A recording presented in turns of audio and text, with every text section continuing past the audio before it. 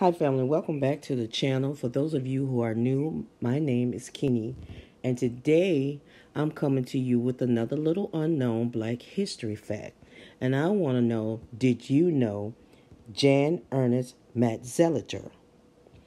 Matzeliger's machine brought shoes to the masses.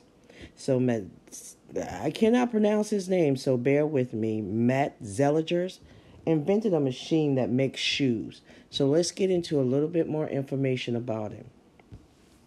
Uh, he was born in Dutch Guyana, the South American country now called Suriname.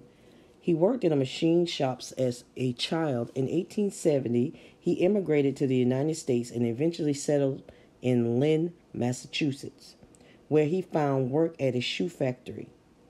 His invention in 1883 successfully invented what many before him had attempted an automated shoemaking machine that quickly attached the top of the shoe to the sole.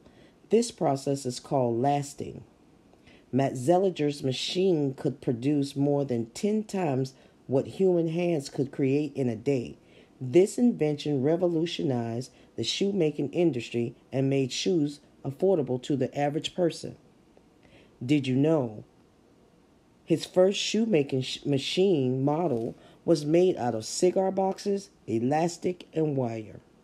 How about that? Who can be mad at that? So tell me, did you know about Jan Ernest Matzeliger? Please don't forget to hit the like button, comment down below, subscribe, and let me know if you have ever heard of this shoemaking genius. And until next time, Bye.